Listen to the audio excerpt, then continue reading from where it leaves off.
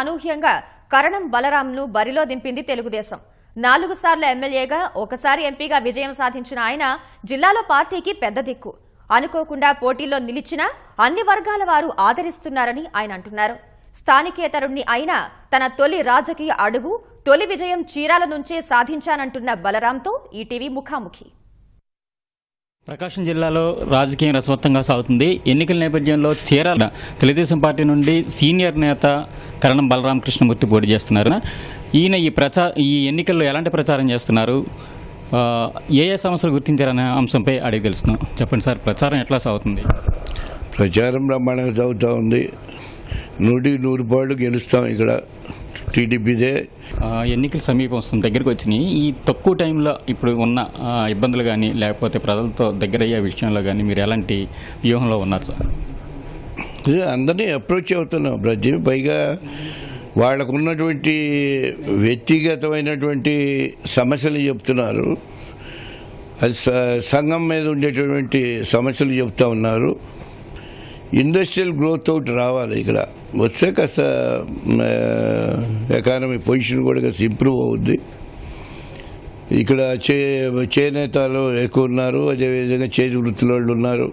వాళ్ళ దీంతో పాటు ముస్లిమ్స్ కానివ్వండి లేకపోతే వైశ్యాస్ వాణిజ్య సమస్యలు కొన్ని కొన్ని చెప్పుకొచ్చారు వాళ్ళు మా దృష్టికి. ఇది ఇక్కడ పోలీస్ డిపార్ట్మెంట్ని అడ్డం పెట్టుకొని వాళ్ళ మీద జులుం ప్రదర్శించి ప్రజల్లో కాస్త ఇబ్బందికరమైన వాతావరణం తీసుకొచ్చి కాస్త భయప్రాంతం చేయడం జరిగింది. ఈ సందర్భంగా ఏంటంటే వాళ్ళు ఎవడు ఎన్ని చేసినా కూడా ఎవరు హద్దుల్లో వాళ్ళని పెట్టాల్సిన బాధ్యత మాకు ఉంటుంది ప్రభుత్వానికి ఉంటుంది. కాబట్టి ఎవరు భయపడకుండా ఓటు వేయాల్సిందిగా మేము వాళ్ళని కూడా కోరటం జరిగింది. ఈ సందర్భం మళ్ళీ ఒకసారి కోరుతా ఉన్నాం. మీరు వేరే నియోజకవర్గం నుంచి ఇక్కడ వలస వచ్చినట్లయింది. ఇక్కడ ఉన్న సీనియర్ నాయకులు అంటే పాలెట్ రామారావు మాజీ మంత్రి పాలెట్ రామారావు అవచ్చు ఎమ్మెల్సీ సునీత గారు అవచ్చు వీళ్ళందరి సహకారం మీకు ఎట్లా ఉంది? మీ విజయానికి ఏ రకంగా సహకరిస్తున్నారు? నేను ఎక్కడి నుంచో వచ్చాననేది నా ఇది నా ఇల్లు. మీకు ఫస్ట్ చేసుకోవాల్సిందే ఇక్కడి నుంచే నేను రాజకీయ ప్ర- ప్రస్తావన నాకు మొదలైంది.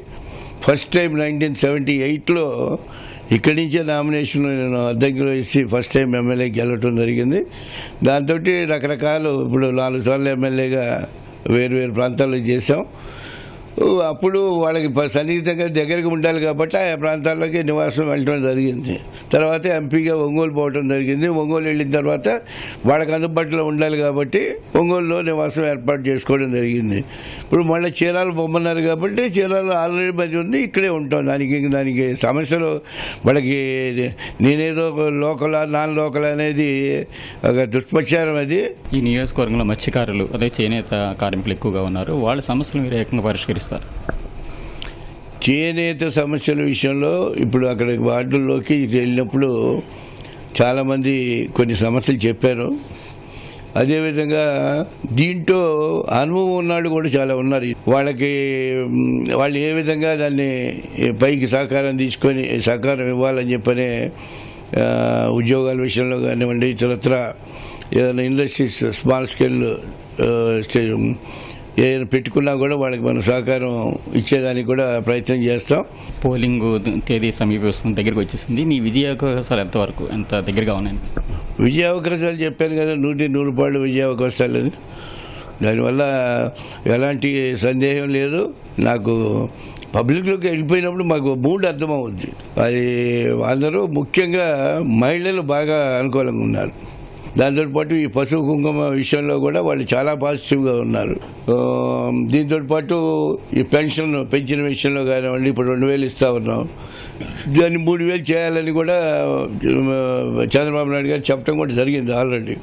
భవిష్యత్తులో మహిళలకు ముఖ్యంగా వాళ్ళు కాళ్ళ మీద వాళ్ళు నిలబడగలే పరిస్థితికి వచ్చేదానికి ఎదుగుదలకి ఉపయోగపడుతుందని నేను భావిస్తున్నాను. థ్యాంక్ యూ అండి. ఇది చీరాల తెలుగుదేశం అభ్యర్థి కరణం బలరాం మా అంతరంగు. ప్రభుత్వం చేస్తున్న అభివృద్ధి కార్యక్రమాలతో పాటు స్థానికంగా తనకున్న ప్రజలతో సత్సంబంధాలు అదే తెలుగుదేశం పార్టీ నాయకులతో ఉన్న అనుబంధంతో తన విజయం సులభం అవుతుందని పేర్కొంటున్నారు. కెమెరామెన్ శ్రీనివాస్తో రవికృష్ణ ఐటీవీ న్యూస్ ప్రకాశం జిల్లా.